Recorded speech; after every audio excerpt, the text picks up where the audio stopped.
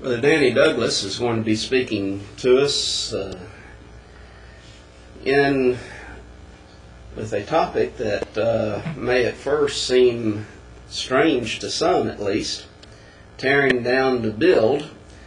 But when you think about it, that's exactly what you do have to do in order to build.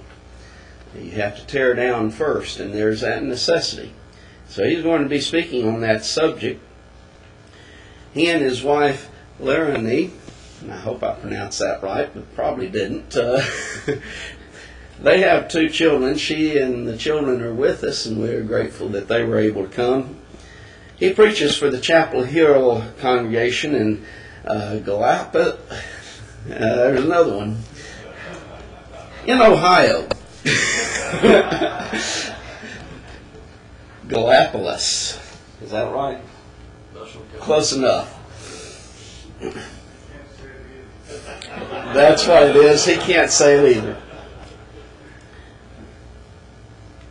He has a he edits an excellent paper, Standing Fast. There's copies in the break room if you would like to get some.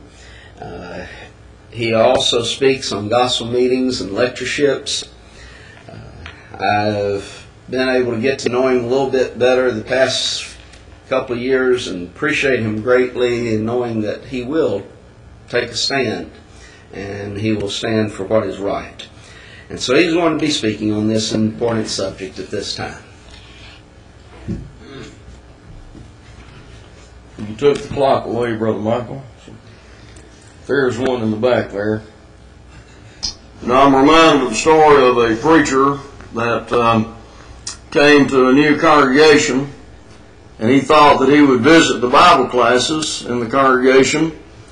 And so he would go into the Bible class and ask the children a question or two. So he went into one class and he said, Who can tell me who tore the walls of Jericho down? And little Johnny said, Well, I didn't do it. So the preacher was obviously taken back by that. And the teacher said, Well, now, preacher, little Johnny's an honest boy, and if he said he didn't do it, he didn't do it. So by this time, the preacher was really frustrated. And he went to the elders and told them the problem. And they said, Well, just find out how much it costs to fix it and give us the bill, and we'll foot the bill. Of course, that was great cause of consternation then. The friends, we're discussing tearing down in order to build. I'm thankful today that I have the privilege to be at Bellview Church of Christ with the Bellview lecturers. I'm thankful for this good congregation and her faithful elders and faithful preacher, Brother Michael Hatcher. And I'm thankful to be with these other godly brethren in speaking this week. I appreciate Brother Hightower's excellent lesson from the last hour. In Ecclesiastes 3 and verse 3, we learn there's a time to kill and a time to heal, a time to break down and a time to build up.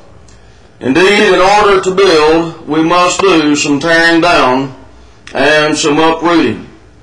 There will always be a need to tear down as long as Satan is raging throughout the world, and of course that will be until the end of time when he will be cast in the lake of fire and brimstone. In 1 Peter 5 and 8, be sober, be vigilant, because your adversary the devil is a roaring lion, walketh about, seeking whom he may devour. We know that Paul urges us to put on the whole armor of God. The breastplate of righteousness, the shield of faith, the feet shod with preparation of the gospel of peace, the sword of the Spirit, which is the Word of God. And of course, we are to take the loins girt about with truth and all the Christian armor there. We're to put on the whole armor of God, according to Paul there in Ephesians 6, verse 10 to 17. But we know there's no armor for the backside. We cannot turn and run. We must face the foe. And there's only one offensive weapon, and that is the sword of the Spirit, which is the Word of God. We know, moreover, that Paul said in that passage, For we wrestle not against flesh and blood, but against principalities, against powers, against the rulers of the darkness of this world, against spiritual wickedness in high places. Wherefore, take unto you the whole armor of God, that you may be able to withstand in the evil day, and having done all, to stand. One thing I would like to say this morning is that God has given us that which is sufficient in order to tear down and to build up. we know that the weapons of our warfare are not carnal. When we go to 2 Corinthians, the 10th chapter, verses 3 to 5, Paul said, For though we walk in the flesh, we do not war after the flesh. For the weapons of our warfare are not carnal, but mighty through God to the pulling down of strongholds, casting down imaginations and every high thing that exalts itself against the knowledge of God, and bring into captivity every thought to the obedience of Christ. Now, of course, Paul is saying here that we are not involved in a carnal, physical, fleshly warfare in fighting for the cause of truth and upholding the name of Jesus Christ. But it's more than that. Our weaponry is not of this world. It is not sophistry or intellectuality. It is not the weapons of human invention not the philosophies of men and the doctrines of men. Our weaponry is mighty through God, mighty before God. It is of God and not of man. Today we have many who are not convinced of that truth, as they do not feel that the weapons which we have are sufficient to win souls to Christ, to build up the kingdom, and to fight Satan. There are those who evidently believe that we have to have entertainment and recreation. I like what one preacher said one time. He said, if we hot dog and hamburger in, someone else is going to stake them out. You know, friends, it takes the gospel to win people. Brother B.C. Goodpasture used to say, if the gospel won't get them, they ain't worth getting. And isn't that true? In Romans 1 verse 16, For I am not ashamed of the gospel of Christ. For it is the power of God unto salvation to everyone that believeth, to the Jew first and also to the Greek. But this time I'd like to go to the book of Jeremiah, if you would, in chapter 1. Here we find a great summary statement of the work that Jeremiah was to do. We know here in verse 10 there are four words of destruction or tearing down, but there are two words for building up or restoration. God said to Jeremiah, See, I have this day set thee over the nations and over the kingdoms to root out and to pull down and to destroy and to throw down, to build and to plant. We know in the book of Jeremiah, though, that God had to uproot his people to root out idolatry out of their hearts. He had to uproot them out of their land and take them into the land of the Chaldeans for 70 years of Babylonian captivity. And we know that there was a faithful remnant who repented and returned to God. We know that any time we go into the devil's territory, we're going to face fierce opposition. And so with Jeremiah. Today, when we seek to tear down the devil's work, the works of darkness, the strongholds of Satan, to which Paul referred in 2 Corinthians 10, that we are going to incur fierce opposition. It is not going to be a battle without a great price. There's going to be a great price. Paul said, Yea, and all that will live godly in Christ Jesus shall suffer persecution, 2 Timothy 3 and verse 12. And so it was the case with Jeremiah. He would have fierce opposition. God assured him in verse number 8, Be not afraid of their faces, for I am with thee to deliver thee, saith the Lord. The enemies of God, although they were supposed to be God's children, they became the enemies of God because they rejected the Lord and His Word. In Jeremiah 6 and verse 16, Thus saith the Lord, Stand ye in the ways, and see and ask the old paths, where is the good way, and walk therein. And ye shall find rest for your souls. But they said, We will not walk therein. Yes, indeed, a child of God can actually become an enemy of God when he begins to reject God's Word. And so their faces would be against Jeremiah. And sometimes we might even find, as we stand for the truth, that even the brethren might make faces at us. But the idea is that their faces would be against Jeremiah. But friends, isn't it much better to have the face of the Lord watching over us than against us? If we compromise so that the face of others, even our brethren, will not be against us, then the Lord's face will be against us and His eyes will not be watching over us. In 1 Peter 3 and verse 12, For the eyes of the Lord are over the righteous, and His ears are open unto their prayers, but the face of the Lord is against them that do evil. God had set Jeremiah over the nations. That's an interesting thought there in verse 10. Because Jeremiah would be proclaiming God's all authoritative word. And this word, Jehovah God, would carry out. And so this all powerful word that Jeremiah would be speaking would command authority over the nations. Not only Judah, but Babylon, Egypt, Philistia, Moab, and others. Today, this should show us the great power in God's Word, and that we are to speak with authority. For the Word of God is quick and powerful and sharper than any two-edged sword, piercing even to the dividing asunder of soul and spirit, and the joints and the marrow, is a discerner of the thoughts and the intents of the heart. Hebrews 4 and verse number 12. Cal and Dick say over this passage, against this power, nothing earthly can stand.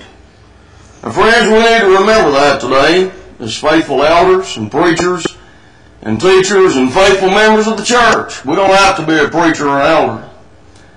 But that when we stand for God's Word, we are standing for something against which all the forces of Satan in this world cannot stand. In 1 John 4 and verse 4, John said, You are of God, little children, and have overcome them, because greater is He that is in you than He that is in the world. Later on, Jeremiah would ask, Is not my word like as a fire, saith the Lord? as a hammer that breaketh a rock in pieces, Jeremiah 23 verse 29. This manifests the power of God's Word. Now let's go to the book of Luke at this time, in Luke chapter 11. This, of course, was when the enemies of our Lord were accusing him of casting out demons by Beelzebub, by the power of the prince of the devils. In verse 20 to 22, Jesus said, But if I with the finger of God cast out devils, no doubt the kingdom of God is come upon you. When a strong man armed keepeth his palace, his goods are in peace. But when a stronger than he shall come upon him and overcome him, he taketh from him all his armor wherein he trusted, and divideth his spoils.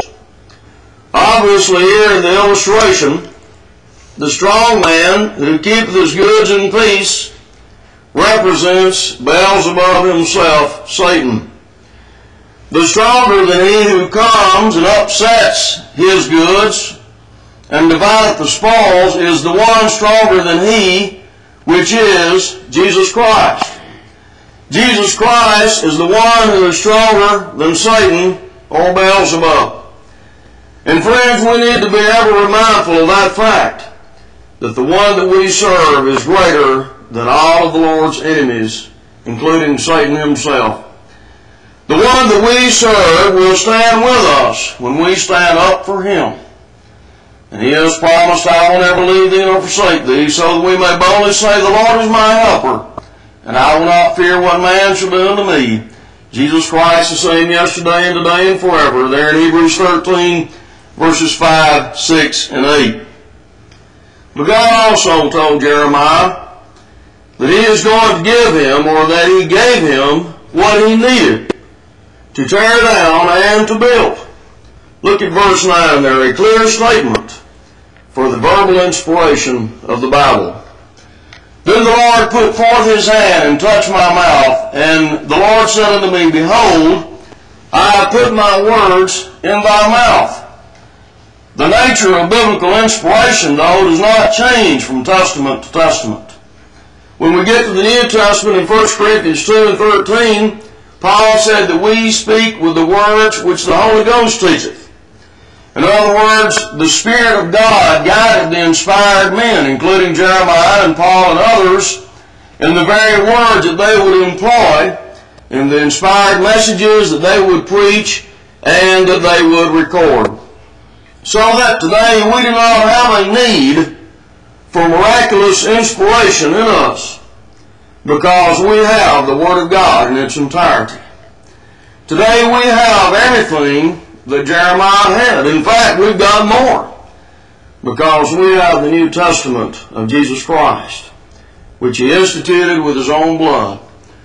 Paul said that all Scripture is given by inspiration of God and is profitable for doctrine, for reproof, for correction, for instruction in righteousness, that the man of God may be perfect, that is, complete, truly furnished unto all good works, 2 Timothy 3, verse 16 and 17. But now let's go to Jeremiah chapter 24 at this time, and let's look at the purpose of God in this tearing down and rooting up His people and taking them into captivity. Beginning at verse number 4 and going through verse number 7. Again the word of the Lord came unto me, saying, Thus saith the Lord, the God of Israel, Like these good figs, so will I acknowledge them that are carried away captive of Judah, whom I have sent out of this place into the land of the Chaldeans for their good. For I will set mine eyes upon them for good, and I will bring them again to this land. And I will build them and not pull them down, and I will plant them and not pluck them up. And I will give them an heart to know me, for I am the Lord. And they shall be my people, and I will be their God, for they shall return unto me with their whole heart. This was God's design and purpose in his chastening hand to those who would allow God to chasten them and to bring them back to Him. And even today we see this principle in play in God's dealings with man. For whom the Lord loveth, He chasteneth and scourgeth every son whom He receiveth. Hebrews 12 and verse 6.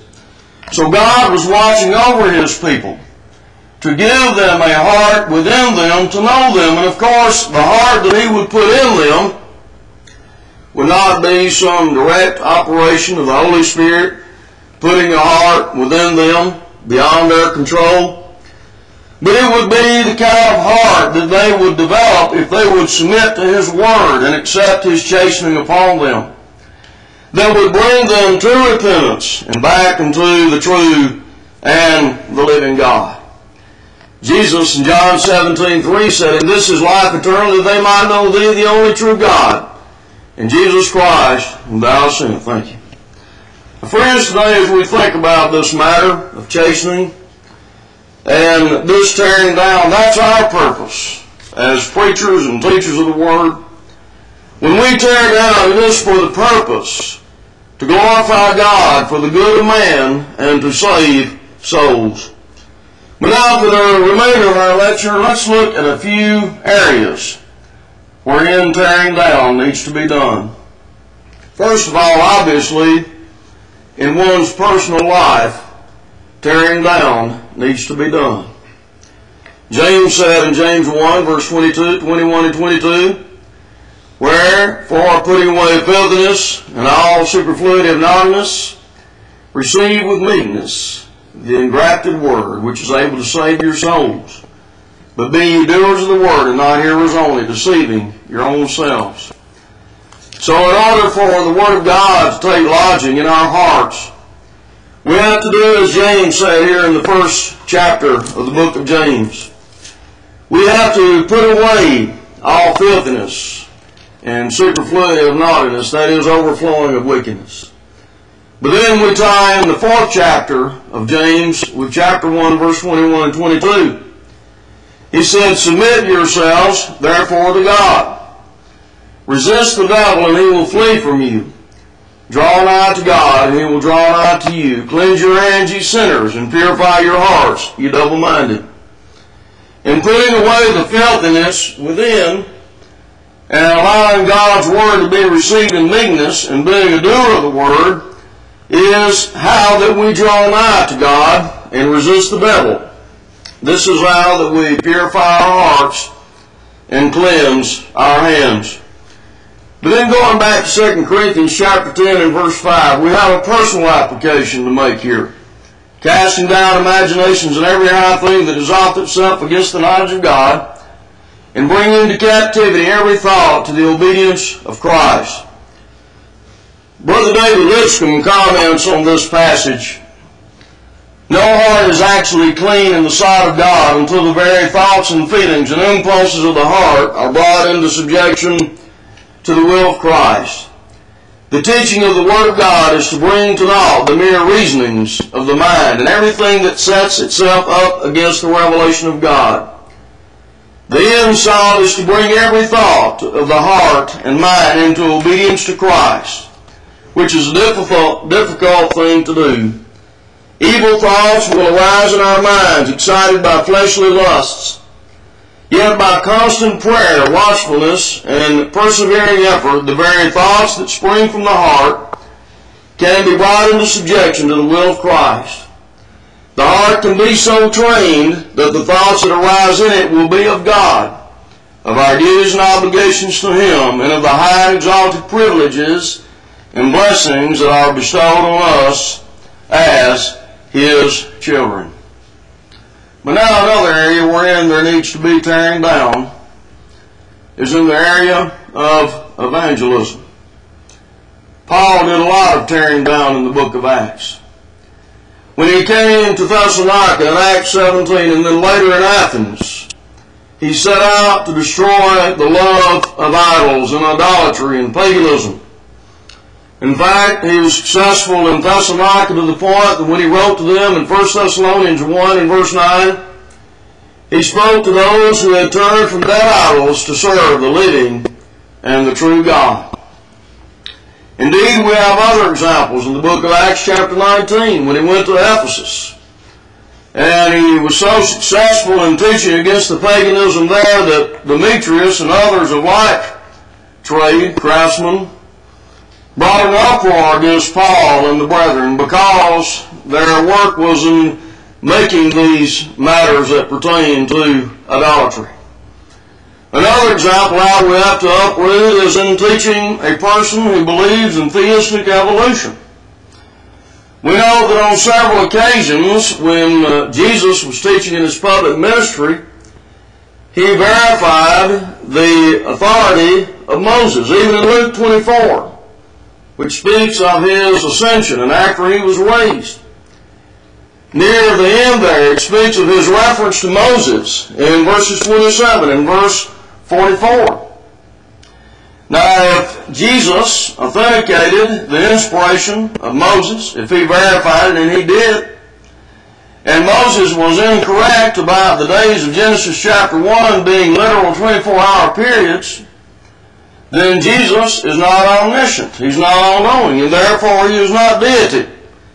And thus one cannot be a theistic evolutionist and also follow Jesus Christ.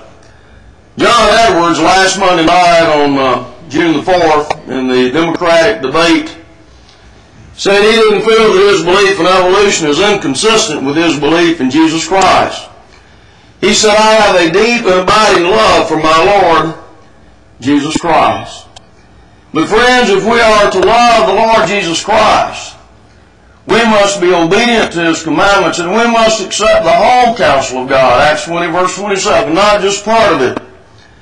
We must observe all whatsoever He has commanded, Matthew 28 and verse number 20.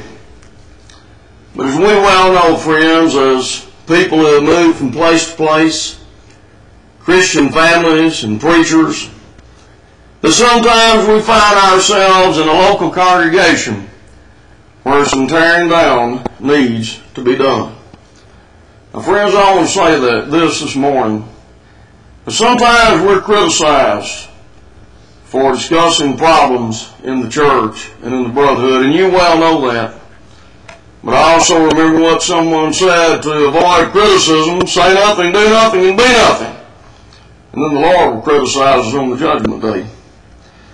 But we are going to be criticized for doing this. But we absolutely cannot get closer to the heart of God than the church.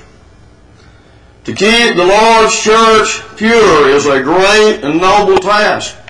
Yes, indeed, we need to evangelize. That is the Lord's great commission.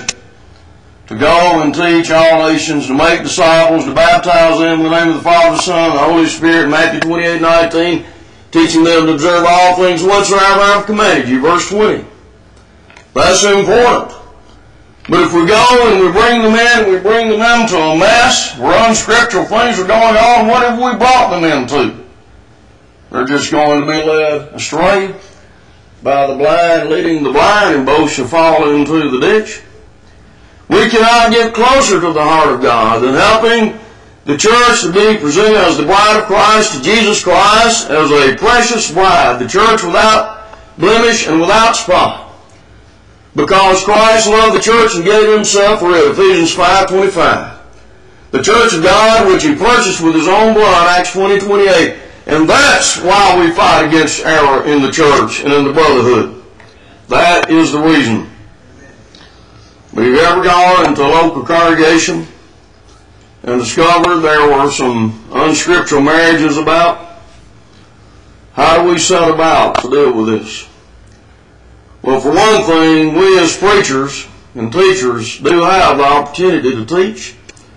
And that's what we need to do. We need to convict people of the truth on these matters. And to teach them what Jesus taught in Matthew 19. They twain should be one flesh. What therefore God has joined together, let not man put asunder. And then in verse 9, I say unto you, whosoever shall put away his wife, except it be for fornication, and shall marry another, committeth adultery, and whoso marrieth her, which is put away, doth commit adultery. Then, of course, we may move into a situation where we find unqualified elders in the eldership. Imagine that. In Acts 20 and verse 28, we learn that scriptural elders are made so by the Holy Spirit through the Word. Remember, the Word of God is the sword of the Spirit. Paul charged the Ephesian elders, Take ye therefore unto yourselves and to all the flock over which the Holy Ghost hath made you overseers to feed the church of God, which he hath purchased with his own blood.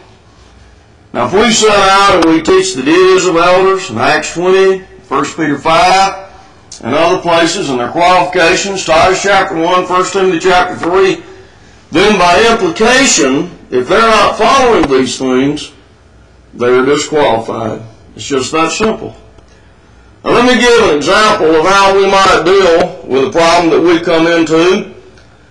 We might come into congregation uh, practicing uh, children's church or children's Bible hour. I believe Brother John mentioned that last night, which is unscriptural, of course. I came into a situation like that one time, and I discussed it with brethren, and thankfully they stopped doing that. So that's a good thing. Or we might move into congregation where unscriptural work such as Churches of Christ, Disaster Relief is being supported, which is a parachurch organization. What do we do? How do we approach that? Well, first of all, we need to educate the church and even the elders, if need be, on why that this is the work of the church. This is one of the three areas of the Lord's church, benevolent work. And whenever there's another organization or group set forth to do the work which God has ordained the church to do, that is without scriptural sanction, just like the American Missionary Society that was established to do mission work for the church. But now here's a common problem when you go into a congregation. When you find unsound versions of the Bible. I'm sure some of you have run into that before such as the NIV or the NIP, the New International Perversion. We run into a congregation. Now, how are we going to process. I say this for the benefit of brethren, who younger brethren or others who may not have experienced this or may need some guidance along this line.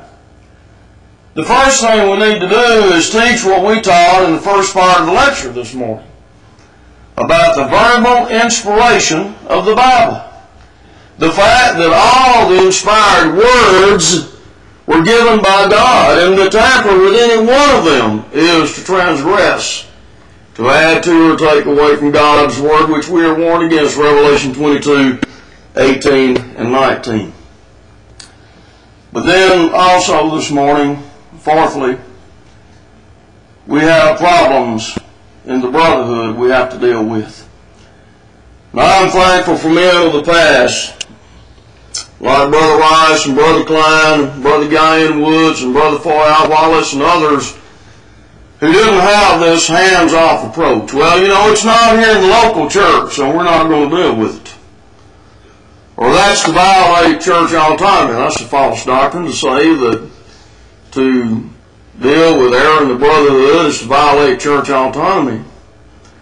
In 1 Peter 2.17, we're to love the brotherhood.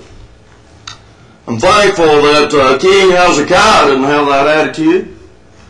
In 2 Chronicles 31, verse 1, as he set out to break down the images and pieces and cut down the groves and throw down the high places and altars out of all Judah and Benjamin, over which he was king, but not only that, and Ephraim also and Manasseh, until they had utterly destroyed them all, then all the children of Israel returned, every man to his possession into their own cities. Perhaps could it not be that Hezekiah realized that if we don't deal with these problems from afar, it won't be long until they will be near. He did not have this hands-off approach that many have today. And then there are many who are not like King Asa. Excuse me. King Asa was not nepotistic. He was not taken over with nepotism, which is, of course, to show favoritism towards one's family or relatives. You know, we sometimes might run into that in the church. I know a preacher that passed away a few years ago, and down in Mississippi, he told me that he preached on abortion one Lord's Day. One of the elders' granddaughters had had an abortion. He wasn't out that congregation much longer. That's nepotism. But let's extend this idea of favoritism or respect of persons out further into the brotherhood or the buddyhood as some may call it. James said, My brethren, have not the faith of our Lord Jesus Christ, the Lord glory with respect of persons. We can't overlook a false doctrine or a false teaching just because someone that we love or know very well is involved in it. We have to deal with all sin. Paul said, and have no fellowship with the unfruitful works of darkness, but rather reprove them. Ephesians 5 and verse 11. In Romans 16, verse 17 and 18, mark them which cause divisions and offenses contrary to the doctrine which ye have learned, and avoid them. For they that are such serve not our Lord Jesus Christ, but their own belly, and by good words and fair speeches deceive the hearts of the simple. You know, we have some in the brotherhood who purport to be conservative and sound brethren, but they're more like Rick Atchley than they realize. Rick Atchley says that we don't need to be an either or congregation, that is either a cappella singing or instrumental music. We need to be both and. We need both a cappella singing and instrumental music. He's a both and preacher too, isn't he? But Jesus said, no man can serve two masters, Matthew 6, 24. I don't mean he's both sound and unsound. He's not sound at all. We have some brethren who are somewhat like Rick Atchley in that they think that you can both fellowship a false teacher and works that he upholds and at the same time disfellowship his false doctrine. They're both and preachers, aren't they? They need to hear the question that Elijah asked on Mount Carmel. How long halt ye between two opinions? In 1 Kings 18 and verse 21. At the Sunny Slope Lectures in Paducah, Kentucky, July 15, 2006, before about 200 people, the question was asked. In view of all that has been written over the last year in widely distributed brotherhood publications, would Brother Cates or Mosher please clarify whether the leadership of Memphis School of Preaching supports Dave Miller as director of Apologetics Press? Now, when I read the answer here that Brother Mosher gave, I believe you'll see how it relates to our topic of tearing down. Brother Mosher said, I've been preaching for 42 years, brethren, and I stand right where I stood 42 years ago. And my friends will believe that, and my enemies won't. But these people are as vile a group, and I do mean vile, as I have ever read after in my life. I have never seen the kind of attitude they have. They want to destroy about nine good works in the brotherhood just to prove a point. Well, friends, I believe that he's referring to the false uh, doctrine of Brother Miller regarding marriage intent and reevaluation, reaffirmation of elders, and all the works that he's connected with, and all those that are connected to him and to his works and to Memphis. Well, friends, why put the number at nine? If something's unscriptural, it doesn't stop at nine. But we don't want to stop any good works at all. And I haven't counted, I don't know what all the nine works are that he's talking about. We love these brethren in Memphis and love Brother Miller. This is not any matter of malice or bitterness at all. We're simply dealing with a problem, with an error. Just for example, you can test this R&R doctrine on elders. Implement that every, into every congregation of the brotherhood that has elders. Implement that and see what happens to the church of our Lord. See what happens to the organization of the church. Now, you know, we may speak out against Rick Atchley and Richard Mills and instrumental music and all that, and we should. But if you oppose that, but you destroy the organization of the church, what have you then, brethren? What do you have? Jesus Christ died for the church in every aspect of the church that he died for, not just one or two. I'd like to ask Brother Mosher this question. When you in the Memphis School of Preaching opposed Malcolm Hill and TBC, and rightly so, for upholding Mac Deaver and his false doctrine of the direct operation of the Holy Spirit on the Christian, did that make you vile? Did that mean that you were trying to destroy good brotherhood works? No, you it, and rightly so, because that is fatal error that will lead people into apostasy away from the book and away from God. That's the reason we trust that you opposed it. And friends, today we are opposing error of any kind. Not because of malice or dislike toward anyone, but because we want to uphold the truth. And whatsoever we do in word or deed is to be done in the name of the Lord Jesus. Colossians 3.17, who has all authority in heaven and on earth. Matthew 28 and verse number 18. As we come to a close this morning, let us say this, that we can pull down the strongholds of Satan, and we must, if we are to further and to build up the cause of Jesus Christ. It's not going to be degrees or drama or entertainment or recreation or worldly philosophy or sophistry or anything like that that's going to win souls to Christ and tear down evil. And this is the end part of what Paul is saying in 1 Corinthians 2. He said, For I determined not to know anything among you save Jesus Christ and Him crucified. And that represents the totality of the Christian system in which we must abide if we are to have the Father and the Son. Whosoever transgresseth and abideth not in the doctrine of Christ hath not God. He that abideth in the doctrine of Christ, he hath both the Father and the Son. 2 John 9.